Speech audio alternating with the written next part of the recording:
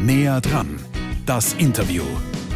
Herzlich willkommen zu unserer Interviewserie bei Näher dran, wo wir uns um die niederösterreichische Landespolitik kümmern. Und ich freue mich sehr über meinen heutigen Gast, den Landtagsabgeordneten und Landesgeschäftsführer der ÖVP Niederösterreich, Bernhard Ebner. Herzlich willkommen. Ja, danke für die Einladung. Und gleich mal die Frage, frisch getestet oder hat man sich schon daran gewöhnt, dass wir andauernd quasi als Testobjekte erhalten müssen? In Wahrheit, ich sage meistens, ich bin ständig getestet. Wir haben ja mittlerweile in der Volkspartei Niederösterreich bei uns im Haus eine betriebliche Teststraße eingerichtet, zweimal in der Woche mit dem Roten Kreuz gemeinsam äh, testen wir alle Mitarbeiter durch. Und natürlich bin ich da auch immer dabei. Äh, und einmal in der Woche gehe ich zu einem PCR-Test. Also eigentlich immer getestet und bis jetzt auch immer negativ und das ist das Positive.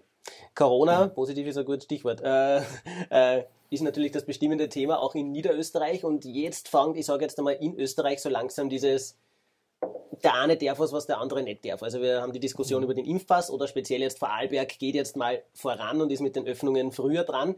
Ähm, was ich so mitbekommen habe, die Niederösterreicher da auch gern schon früher ins Wirtshaus gehen und alles haben. Äh, bei uns liegt die 7-Tage-Inzidenz äh, letzte Woche bei 194. Das ist aber schon relativ viel. Wie reagiert Niederösterreich drauf oder Sie? Naja, man muss ein paar Sachen, glaube ich, jetzt einmal unterscheiden. Was positiv ist, und das teilen wir uns mit Vorarlberg, also Niederösterreich, Vorarlberg sind die beiden Länder mit der geringsten Sterblichkeit, was Corona betrifft, in ganz Österreich. Also das ist einmal das Positive. Auf der anderen Seite erleben wir mit Vorarlberg oder ein Land, wo jetzt der Sondermaßnahmen getestet werden, äh, in einem Land, das sehr klar topografisch auch abgegrenzt werden kann. In einem Flächenbundesland wie Niederösterreich, muss man ganz klar sagen, wird das nicht funktionieren. Dazu haben wir viel zu viele äh, Möglichkeiten, wo etwas auch in das Land hereingetragen werden kann. Und das dritte ist dann, ja, natürlich würden wir auch gerne mehr aufmachen. Unser Landeshauptfrau hat sich ja da ganz stark eingesetzt. Erstens einmal, dass die Vereine quasi den Nachwuchssport wieder starten können. Zum Zweiten natürlich auch für unsere Wirten. Bei dem einen hat sie sich auch durchsetzen können. Nachwuchssport soll ab 15. März ja wieder möglich sein. Und bei den anderen, bei den Wirten wissen wir jetzt, dass ab 27. März die Schanigärten öffnen können, aus heutiger Sicht wenn gleich eines klar ist, das sind Prognosen in die Zukunft, wo wir heute alle nicht wissen, wie entwickelt sich die Situation, was die Inzidenz betrifft, was natürlich die Mutationen des Virus betrifft. Da gibt es vieles, was unsicher ist auf diesem Weg. Aber ja, für uns klar ist, wir wollen so bald wie möglich, so bald es möglich auch aufmachen, damit auch die Niederösterreicherinnen und Niederösterreicher auch wieder zum, unter anderem auch zum Wirten gehen können. Weil eines, und das muss ich schon ganz klar sagen, ich weiß nicht, wie es Ihnen geht, aber mir geht so mit seit einem Jahr Corona, also es zipft uns in Wahrheit alle schon richtig Ja, an. absolut. Und, und, und also einen richtigen Freudenschrei, wenn ich da gleich anknüpfen darf, von den Wirten hat es jetzt auch nicht gegeben, sondern diese Öffnung der Schanigärten wird auch eher als äh, Tropfen auf den heißen Stein empfunden. Ich meine, es weder Ende März weiß man auch noch nicht, ob das überhaupt taugt, beziehungsweise es gibt auch Wirte, die keinen Schanigarten für 200 Leute haben. Da ist es jetzt, sage ich mal, bei einem kleinen Kaffeehaus, wo normalerweise acht Leute draußen sitzen, auch relativ beschränkt, die Sinnhaftigkeit. Musst du auch da unterscheiden. Auf der einen Seite, wenn wir zurückdenken, letztes Jahr Ostern, da kann ich mich erinnern, da war strahlender Sonnenschein, ganz warme Temperaturen, also da ist es super gewesen. Also da wir hoffen aber auf ein problemlos gewesen. Auf der anderen Seite äh, gibt es natürlich auch Wirte, gibt es natürlich auch Unternehmer, die nicht die Möglichkeit haben mit einem Schanigarten, das stimmt schon, und die müssen sich dann überlegen, sperren sie auf oder sperren sie nicht auf. Wichtig ist, dass die Unterstützung des Bundes auch in diesem Fall auch weitergeht, auch greift. Das tut sie ja bei den Wirten. Wir wissen, da waren zum Beginn ja 80 Prozent Förderungen, jetzt mittlerweile Fixkostenzuschüsse und dergleichen mehr. Also ich glaube schon, da hilft, hilft das Bund, da wird auch geholfen, dass sie über die Runden kommen. Hilfe ist ein gutes Stichwort. Die, viele Menschen brauchen Hilfe. Die Bezirksblätter haben eine repräsentative Umfrage mhm. in Auftrag gegeben, auch mit Niederösterreich-Ergebnissen. Mhm. Äh, und zum Beispiel 81 Prozent, also vier von fünf Niederösterreichern haben wirklich Angst vor der finanziellen Zukunft. Stichwort Kurzarbeit oder auch sogar die Arbeitslosigkeit. Also äh, ist ja auch ähm, rekordhoch 14 Prozent gestiegen im Februar und noch immer die Hälfte klagt über hohe seelische Belastung, einfach weil Homeoffice und alles an der Ham sehr belastend ist. Was sagen Sie, wenn Sie diese Zahlen sehen und was kann die Politik da tun? Also beide, beide Ergebnisse kann ich auch nachvollziehen. Wir selbst machen ja immer wieder Umfragen. Unser Landeshauptmann sagt immer, Niederösterreich ist das bestvermessenste Land von allen. Und ja, auch wir wissen, dass das Thema Arbeit das Nummer eins Thema in Niederösterreich ist, beschäftigt viele. Natürlich geht es darum, Arbeit zu behalten oder Arbeit auch wieder zu finden. Und äh, ja, das Thema Arbeitslosigkeit ist ein großes, wobei auch da muss man sehr selektiv vorgehen. Es gibt Branchen, wo Facharbeiter gesucht werden, wo Arbeitskräfte gesucht werden, bis hin zu Sekretärinnen gesucht werden. Und es gibt Branchen, Gastro haben wir zuvor schon angesprochen, wo es natürlich zurzeit extrem schwierig ist, wo fast alle noch in Kurzarbeit sind und die Kurzarbeit zum Glück jetzt ja auch verlängert wurde bis Juni. Aber wo man einfach merkt, auch hier gibt es große Unterschiede. Auf der einen Seite werden Arbeitskräfte gesucht, auf der anderen Seite äh, gibt es viele, die arbeitslos sind und da muss man halt nur schauen, wie finden die zusammen. Das geht auch über Qualifizierung. Das geht auch darüber, dass die, mit, äh, dass die Arbeitslosen sich auch in Qualifizierung selbst auch begeben. Gerade im Pflegebereich zum Beispiel suchen wir extrem viele Arbeitskräfte und auch hier wollen wir Anreize schaffen, dass es hier zu Umqualifizierungen auch dementsprechend kommt. Nur ein Beispiel, ein positives Beispiel. In Zeiten wie diesen Niederösterreich ist ja von allen neuen Bundesländern das Bundesland, wo die Arbeitslosigkeit quasi am wenigsten hoch gestiegen ist. Und wir haben sogar einen Bezirk, den Bezirk Zwettl, interessanterweise, wo die Arbeitslosigkeit sogar gesunken ist, jetzt im Vergleich zum Vorjahr. Warum? Das kann ich jetzt ad hoc noch nicht beantworten, da sind wir dabei, das auch zu evaluieren. Aber es ist halt ein, ein Bezirk, wo eingependelt, ausgependelt wird, wo viele auch auspendeln. Vielleicht hängt es auch mit diesen Faktoren zusammen. Wenn wir nur einmal auf die seelische Belastung kommen, weil die ÖVP ist ja sehr breit aufgestellt, mhm. also die Partei der Bünde. Was ist wirklich Ihr Feedback von den Frauen über die Jugendorganisation, vom Wirtschaftsbund? Also wie stark ist der Druck auf diese Öffnungsschritte oder lasst uns endlich wieder raus? Oder äh, was sagen die Leute auch, worunter sie wirklich leiden? Also wird bei ihnen viel Leid geklagt? Naja, wir haben es vorhin schon gesagt, uns selbst betrifft es ja auch. Also mich selbst, muss ich ganz ehrlich sagen, ist auch nicht jeden Tag super, dass man aufsteht und sagt, wir haben immer noch Lockdown. Sondern es ist natürlich, es drückt auf die Stimmung, es drückt auf die Stimmung in der Bevölkerung, natürlich auch in, bei unseren Funktionären und Funktionären. Eines, und das wissen wir schon als Volkspartei Niederösterreich, dadurch, dass wir die Vorortpartei sind, in jeder Gemeinde vertreten sind, spüren wir sehr genau, was draußen auch in der Bevölkerung los ist, was bei den Menschen auch tatsächlich die Stimmung ist, wie sehr auch sie bedrückt sind. Und ja, da gibt es viele, die bedrückt sind. Und da muss man auch helfen. Da hilft die Organisation der Volkspartei Niederösterreich. Wir haben rund 200.000 Mitglieder in Niederösterreich. Das heißt, die sind strukturiert über die Teilorganisation und jede Teilorganisation hat für sich da auch Maßnahmen auch überlegt, wie sie mit ihren Mitgliedern auf der einen Seite, aber auch mit, den, mit der Bevölkerung auf der anderen Seite kommunizieren können. Gerade der Seniorenbund als ein Beispiel herausgegriffen, kümmert sich sehr, sehr intensiv auch um die Senioren in Niederösterreich. Gerade jetzt, wo es um Impfangmeldungen und so weiter gegangen ist, hat der Seniorenbund sehr, sehr vieles gemacht, um auch hier bei den 80 Plus zu helfen, dass sie sich anmelden können, dass sie auch einen Impftermin bekommen. Ähm, die Familie als Kern der Gesellschaft, sage ich jetzt mal überhaupt in Niederösterreich, ist momentan extrem gefordert. Da möchte ich Ihnen noch eine Zahl mit auf den Weg geben. Das ist nämlich im Bundesländervergleich mhm. die höchste Zahl. In mhm. Österreich 49,8 Prozent, also jeder zweite Niederösterreicher ist dafür, dass die Sommerferien gekürzt werden, einfach mit dem Argument, der Lernstoff muss nachgeholt werden, weil ähm, das ist ja kein Geheimnis und sagen eigentlich alle, egal ob Elternlehrer oder die Schüler selber, so viel Stoff wie in einem normalen Schuljahr haben wir natürlich nicht durchgebracht. Ähm, wie sehen Sie diese Zahl? Also man muss vielleicht einmal ganz klar sagen, egal ob Schüler, Eltern oder Lehrer, alle drei Gruppen leisten etwas Sensationelles in dieser Krise, aber speziell jetzt auch was die Schule betrifft. Äh, sei es die Eltern, wenn die Kinder daheim sind im Homeschooling, sei es die Schüler, die natürlich äh, spezielle Herausforderungen haben, auch den Stoff einerseits zu lernen, andererseits sich auch sozial mit ihren Freunden auch zu treffen, weil gerade in der, in der Schule vor Ort ist ja, passiert sehr viel Soziales und natürlich auch die Lehrer, die gefordert sind, sich umstellen mussten auf, auf Home Teaching quasi. Also auch da gibt es viele, die sich umstellen mussten und alle drei Gruppen haben wirklich Sensationelles geleistet und sind natürlich auch in Zukunft noch gefordert. Und das war jetzt das allgemeine schon, Lob, aber guck mal, was halten Sie davon? Ja, ja. Also die Hälfte der Niederösterreicher will es kürzen. Wir haben zuvor schon, wir haben zuvor schon über eines gesprochen, dass es in Zeiten wie diesen schwierig ist, Prognosen zu machen. Aber die Sommerferien wird die Prognose, die Prognose, auch schwierig sein. Äh, was wird ja in den nächsten Wochen und Monaten in den Schulen noch möglich sein an, an, an Stoff und dergleichen mehr? Von unserer Seite her, also wenn man da die Verkürzung der Sommerferien äh, hernimmt, also ein Thema wird natürlich sein, wie schaffen wir es, den Sommer so zu nutzen, dass Defizite auch ausgeglichen werden. Ob das jetzt eine Verkürzung der Sommerferien sind oder ob das, so wie es der Bund auch anbieten wird, Ferienschule ist, wo es Ferienunterricht gibt, wo es vielleicht auch äh, Stützunterricht gibt in den Ferien, äh, das muss man sich, glaube ich, jetzt noch anschauen, welcher Modell dann auch das Richtige zu dem jeweiligen Zeitpunkt ist. Hängt natürlich auch davon ab, wie sich die nächsten Wochen auch entwickeln. Ist nicht die Wahrheit, dass sie die, speziell die ÖVP wahrscheinlich nicht mit der Lehrergewerkschaft anlegen kann, weil dass die das quasi gratis machen, ist ja wahrscheinlich ausgeschlossen. Ich glaube, das Entscheidende dabei sind die Kinder.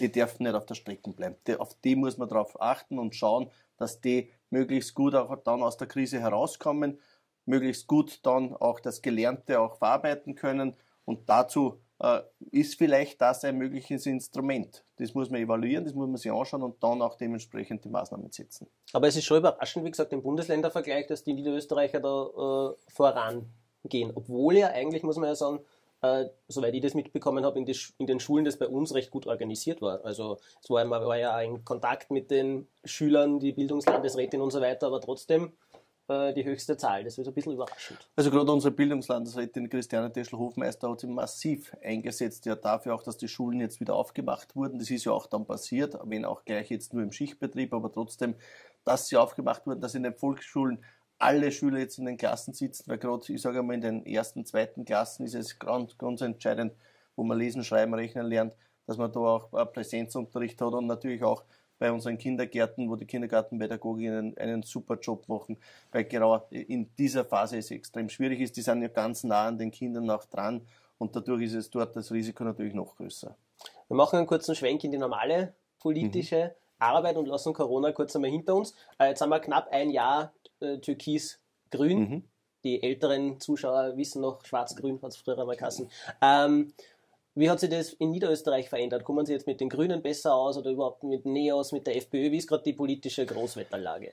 Also gerade unsere Landeshauptfrau hat einen neuen Stil in Niederösterreich geprägt, den Stil des Miteinander, wo es darum geht, über Parteigrenzen hinweg, mit der Bevölkerung, mit den anderen Parteien, innerhalb der ÖVP ganz stark das Miteinander auch zu leben, abzustimmen, Themen zu diskutieren und dann Entscheidungen auch zu treffen. Und dieser Stil wurde begonnen im Jahr 2017 und greift im Wahrheit jetzt immer noch. Wir haben auf der einen Seite Arbeitsübereinkommen mit, den, äh, mit der SPÖ, mit der FPÖ. Die Arbeitsübereinkommen werden jetzt auch abgearbeitet und auf der anderen Seite gibt es eine gute Zusammenarbeit auch mit den NEOS und mit den Grünen, äh, wenngleich sowas immer auf Wechselseitigkeit auch passiert. Äh, meiner Meinung nach ist es wichtig, dass dieses Miteinander, das Niederösterreich gerade jetzt in der Krise so notwendig braucht und auch Niederösterreich auch gut tut, dass wir gut durch diese Krise kommen, dass das auch in Zukunft Kraft hat, dass man in Zukunft auch gemeinsam Dinge diskutiert, entscheidet und dann auch umsetzt. Trotzdem, logischerweise ist die Opposition, speziell die kleinen Parteien, nicht immer auf einer ÖVP-Linie, wäre vielleicht ein bisschen viel verlangt, vielleicht auch. Auf jeden Fall haben wir uns umgehört, was die anderen so über sie und die ÖVP aktuell sagen. Und ich sage jetzt einmal, wir hätten da eine Grußbotschaft mhm. samt Frage für Sie. Gern. Bei meiner Frage geht es um das Thema Transparenz. Spätestens seit der Causa Novomatic wissen wir, alles, was im Ibiza-Video gesagt wurde, ist nach wie vor möglich. Was meine ich damit? Gelder von Spendern fließen über Vereinskonstruktionen in die Parteikassen. Derzeit tauchen Namen von ÖVP-Funktionären wie Klaus Schneeberger, Wolfgang Sobotka im Zusammenhang mit Spenden der Novomatic AG auf. Das sind aber auch jene Personen, die damals maßgeblich das Gesetz verhandelt haben. Sprich, da ist ein bisschen ein ziemlicher Beigeschmack derzeit dabei. Daher konkret meine Frage. Kannst du es dir als Landesgeschäftsführer vorstellen, dass die ÖVP jetzt eine Transparenzoffensive an den Tag legt und wirklich mal ganz klar sagt, wo es hier Kooperationen mit der Novomatic AG und ihren Töchtern gegeben hat? Warum sperrt sich die ÖVP Niederösterreich so gegen mehr Transparenz, was die Finanzen der politischen Parteien anbelangt? Das waren mhm. Indra Colini von den Neos und Helga Christmer von den Grünen, die wir um ein Statement und eine Frage gebeten haben und die sind sich ja einig. Also Transparenz, mhm. ÖVP, ja, nein, Offensive, wie stehen Sie dazu? Also man muss einmal eines sagen, unsere Landeshauptfrau hat gleich zu Beginn, wie sie Landeshauptfrau geworden ist, ein Demokratiepaket auch quasi in den Landtag geschickt und wurde beschlossen, wo es um sehr viel Bürgernähe, um Mitbestimmung, auch um Transparenz geht. Äh, das war 2017, das ist ja mittlerweile auch in Kraft. Auf der anderen Seite gibt es natürlich da jetzt da, äh, seitens den Neos und den Grünen scheinbar Anschuldigungen, was die Novomatic betrifft. Hier muss man schon einmal an dieser Stelle auch ganz klar sagen, Novomatic ist ein Unternehmen, das in Niederösterreich die Steuern auch zahlt, das in Niederösterreich verankert ist und da, wo sehr, sehr viele Niederösterreicherinnen und Niederösterreicher auch ihre Arbeit finden. Fakt ist, dass genau dieses Unternehmen in Niederösterreich in sehr, sehr vielen Bereichen als Sponsor tätig ist, sei es in Sportvereinen, sei es in Kulturorganisationen, sei es in anderen Vereinen. Überall dort ist die Novomatik auch verankert und unterstützt auch hier das gesellschaftliche, das kulturelle, das sportliche Leben in Niederösterreich. Auf der anderen Seite gibt es da Anschuldigungen, die jetzt auch kontrolliert werden und wenn man da in Klaus Schneeberger anspricht, der ja der Lieblingsgegner scheinbar von der Helga Christma ist, da muss man eines ganz klar sagen, hier hat es zum Beispiel äh, äh, Unterstützung gegeben in manchen Bereichen, was die Stadt betrifft, wo er Bürgermeister ist, wo bei der Landesausstellung zum Beispiel äh, da oder dort auch unterstützt wurde, nicht nur von Novomatic, sondern auch von zahlreichen anderen Vereinen auch. Und daher ist es eine Aufregung, ein Sturm meiner Meinung nach auch im Wasserglas, was das betrifft. Auf der anderen Seite, wenn wir die Neos noch ganz kurz hernehmen, eine Partei, die rein über äh, Spenden von Herrn Haselsteiner gegründet wurde und auf diesen auch fußt, finde ich immer spannend, wenn die dann sagen, es darf keine Spenden geben. Also auch hier, ich lade beide aber auch ein, dass sie wieder zurückkommen auf die sachliche Ebene. Transparenz ist ein Thema, das wichtig ist. Transparenz ist etwas, wo wir uns äh, im Wahrheit auch gar nicht dagegen sträuben, sondern es gibt da klare Vorgaben auf Bundesebene, klare Gesetze, was ein Parteienfinanzierungsgesetz betrifft, wo der Rechnungshof auch noch mehrere Möglichkeiten auch einschalten kann. Es wird jetzt auch gerade ein neues Paket auch auf Bundesebene diskutiert mit den Grünen, mit den Koalitionspartnern äh, der Bundespartei und wo die einen oder anderen Maßnahmen auch gesetzt werden. Es ist sowieso, wenn man das jetzt im Informationsfreiheitspaket so benennt, so quasi, man, ähm, der Eindruck der letzten Zeit ist, die ÖVP ist ein bisschen, man kann es jetzt positiv formulieren und sagen, flexibler geworden, äh, negativ formuliert ein bisschen beliebiger. Also zum Beispiel die Waldviertel-Autobahn ist jetzt einfach weg. Äh, die Bundesstaatsanwaltschaft dafür lange nicht unbedingt als beste Idee in der ÖVP bekannt kommt jetzt wahrscheinlich. Womit äh, erklären Sie uns das? Ja, für die Waldviertelautobahn war ja dieser Prozess gestartet worden, der nicht Ja oder Nein für ein Projekt geheißen hat, sondern was ist das Beste für das Waldviertel. Das ist untersucht worden, da hat es die strategische Prüfung Verkehr gegeben und da ist halt herausgekommen, dass es eine Investition in die Infrastruktur auf der Schiene und auch in die, in die Straßen auch geben soll. Daher auch ein großes Paket, 1,8 Milliarden für das Waldviertel, also so viel hat es noch nie gegeben. Äh, davon rund äh, ein Viertel für die Straße, drei Viertel für die Schiene, wo es Ertüchtigungen gibt, gerade wo die Strecken äh, gerade gemacht wird, wo es Beschleunigungen gibt, damit man schneller dann auch von Gmünd auch in Wien ist. Also da passiert sehr, sehr vieles, was auf der Schiene ist, Knoten Horn zum Beispiel und dergleichen mehr. Und auf der anderen Seite gibt es Straßenprojekte, Umfahrungsprojekte, die jetzt auch realisiert werden und in den nächsten Wochen auch umgesetzt wird. Also ich glaube nicht, dass es hier einen Schwenk gegeben hat, wie Sie das betonen, sondern meiner Meinung nach ist eines ganz klar, man hat untersucht, was ist das Beste fürs Waldviertel und das Ergebnis war jetzt das Konzept, das jetzt auch umgesetzt wird. Okay, und die Bundesstaatsanwaltschaft? Ich glaube, bei der Bundesstaatsanwaltschaft, man muss nur die, die gesamte Justiz auch in diesem Fall betrachten. Da gibt es viele Bereiche, die jetzt ja auch diskutiert werden. Und das ist ein möglicher Ansatz, dass man in diesem Bereich vielleicht in der Justiz wieder Ruhe hineinbekommt, dass in die Justiz da wieder äh, dementsprechend gearbeitet werden kann. Dann schauen wir noch nach vorne. Vielleicht können mhm. wir mit etwas Positivem ändern. Wir sind jetzt am Ende fast des ersten Quartals. 2021 wird genauso herausfordernd wie 2020 wahrscheinlich. Was haben Sie persönlich oder was hat äh, die ÖVP im Land noch vor für heuer oder vielleicht sogar darüber hinaus? Ist was in der Pipeline, was uns überraschen wird? Nein, ich glaube, man muss trennen. Das eine ist die inhaltliche Arbeit, die Regierungsarbeit und das andere ist die Parteiarbeit. Wenn ich an die Parteiarbeit denke, als Landesgeschäftsführer natürlich das, wo ich mir die meisten Gedanken mache dann hat es eine klare Vorgabe gegeben von unserer Landeshauptfrau. Wir dürfen nicht nichts tun, sondern wir müssen es nur anders tun. Und da haben wir viel nachgedacht, da haben wir auch sehr viele Formate auch entwickelt, sehr viel kommuniziert mit unseren Funktionärinnen und Funktionären. Äh, Videokonferenzen waren vielleicht für viele vor einem Jahr noch undenkbar, mittlerweile alltäglich kann man fast sagen. Wir haben Veranstaltungsformate, die Corona-sicher sind, wo wir Diskussionsrunden haben, wo wir mit Unternehmen uns vor Ort treffen und uns austauschen und dergleichen. Also ganz, ganz viele Maßnahmen, um zu zeigen, wir sind vor Ort, wir sind äh, bei den Menschen, wir hören zu und nehmen das dann auch mit. Auf der anderen Seite Regierungsarbeit, ganz was Entscheidendes. Unsere Landeshauptfrau gibt hier ja auch ganz klar den Takt vor. Da gibt es viele Maßnahmen, die umgesetzt werden sollen, Infrastrukturprojekte, Unterstützung für die Wirtschaft, weil eines, und das ist unserer Meinung auch klar, man muss die Wirtschaft unterstützen. Die einzige Hilfe, die wir geben können, ist investieren, investieren, investieren.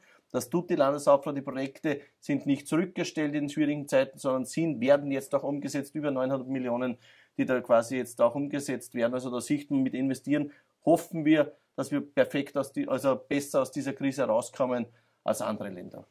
Na, das hoffen wir doch alle miteinander. Bernhard Ebner, Landesgeschäftsführer der ÖVP Niederösterreich, vielen Dank für den Besuch. Was ist jetzt das Erste, was Sie nach dieser Sendung machen? Neos anrufen und fragen, was die Frage soll.